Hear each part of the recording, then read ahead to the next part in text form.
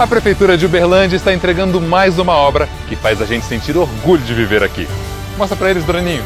Uhul! Este é o novo terminal Canaã, que amplia a integração dos passageiros por toda a cidade. Junto com a duplicação da Avenida Judéia, este terminal vai diminuir o tempo de deslocamento, proporcionando maior conforto e segurança para seus usuários. Por aqui vão passar mais de 40 mil passageiros por dia. E ele é completão, metros quadrados, é o segundo maior terminal de Uberlândia. Tem até bicicletário e câmeras de segurança. Pensou, hein, Draninho? Ufa! Prefeitura de Uberlândia.